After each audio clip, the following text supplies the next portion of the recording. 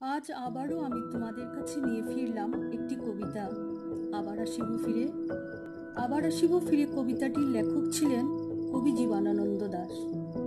তিনি ছিলেন আধুনিক বাংলা সাহিত্যের অন্যতম শ্রেষ্ঠ কবি। তিনি আঠারোশো নিরানব্বই খ্রিস্টাব্দের সতেরোই ফেব্রুয়ারি পূর্ববঙ্গ, অর্থাৎ বর্তমান বাংলাদেশ, বরিশাল শহরে জন্মগ্রহণ করেন।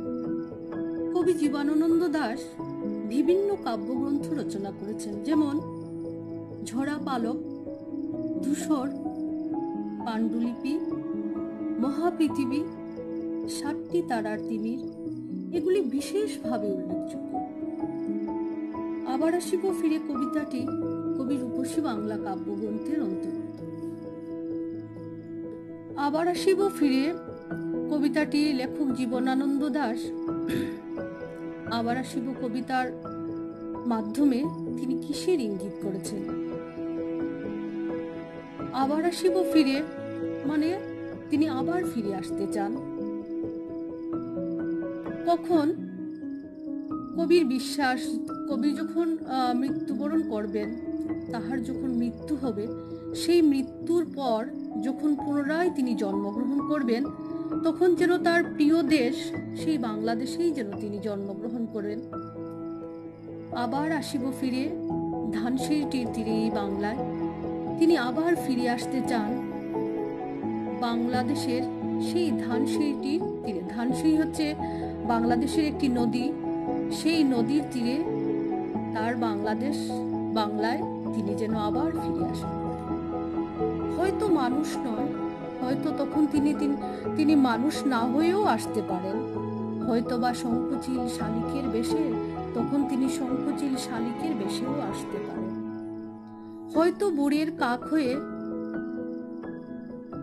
এই কার্তিকের নবান্নের দেশে, হয়তো ভোর বেলার কাক হয়ে তিনি কার্তিক কার্তিক হচ্ছে একটি মাসের নাম। নবান্নের দেশে নবান্ন হচ্ছে একটি উৎসব।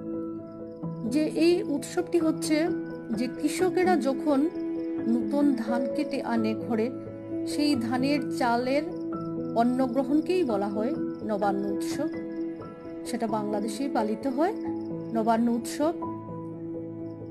কুয়াশার বুকে ভেসে একদিন আসিবই কাঁঠাল ছায়ায় হয়তো তিনি কুয়াশা হয়ে আসতে পারেন কাঁঠাল গাছের পাতায়।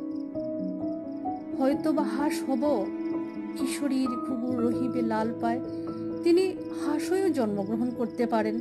তখন তার লাল পায়ে বাধা রহিবে ঘুঘুর, কিশোরীর ঘুঘুর যেভাবে তার পায়ে বাঁধা তাকে, তিনি যখন হাঁস হয়ে জন্মগ্রহণ করবেন, তখন তার পায়েও বাধা রহিবে ঘুঘুর। সারাদিন কেটে যাবে কলমির গন্ধ গড়া জলে ভেসে ভেসে। সারাদিন তিনি সাঁতার কাটতে থাকবেন, কলমির গন্ধ গড়া জলে সাঁতার কেটে ভেসে বেড়াবেন। আবার আসিব আমি বাংলার নদীমাঠ ক্ষেত ভালোবেসে। তিনি যে বাংলাদেশকে এত ভালোবাসেন, বাংলাদেশের নদী মাঠ ক্ষেত এত ভালোবাসে, বাসেন, তিনি বারবার যেন সেই বাংলাদেশেই ফিরে আসতে চান। তার অফুরন্ত ভালোবাসা, এত ভালোবাসা বাংলাদেশের প্রতি। এজন্য তিনি বারবার আসার কথা ব্যক্ত করেছেন। জলাঙ্গির ঢেউয়ে ভেজা বাংলার এই সবুজ করুণ ডাঙ্গায় তিনি জলাঙ্গির ঢেউ হয়ে সবুজ গাছপালাতে আসবেন। হয়তো দেখিবে যে সুদর্শন উড়িতেছে সন্ধ্যার বাতাসে। সুদর্শন হচ্ছে এক ধরনের পাখি অর্থাৎ ফড়িং ছোট ছোট পতঙ্গ হয়ে তিনি সন্ধ্যার বাতাস যখন বইবে, সেই বাতাসেই তিনি ঘুরে বেড়াতে পারেন। হয়তো শুনিবে এক লক্ষ্মী পেঁচা ডাকিতেছে শিমুলের ডালে। শিমুল হচ্ছে অনেক বিশাল বড় গাছ যা- গাছ থেকে আমরা তুলা পাই, সেই গাছের নাম হচ্ছে শিমুল গাছ। সেই শিমুল গাছে তিনি লক্ষ্মী পেঁচা হয়ে হয়তো ডাকবেন। হয়তো খইয়ের ধান ছড়াতেছে শিশু এক উঠানের কাছে। হয়তো তিনি শিশু হয়ে উঠানের মধ্যে খইয়ের ধান দিয়ে খেলা করছেন। রূপসার ঘুলা জলে হয়তো কিশোর এক সাদা ছেঁড়া পালে ডিঙাবায় রূপসার জলে তিনি কিশোর হয়ে নৌকা নিয়ে ঘুরে বেড়াবেন।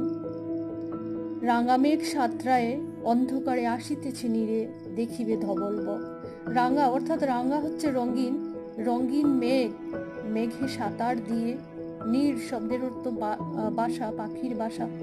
নীরে পাখি তার, তিনি ধবল বক, সাদা বক হয়েও তার বাসাতে হয়তো উড়ে আসছেন। দেখিবে তোমরা সবাই, আমাদেরই পাবে তুমি ইহাদের ভিড়ে।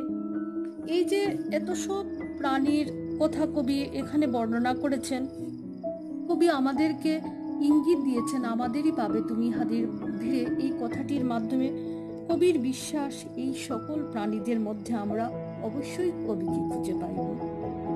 ধন্যবাদ।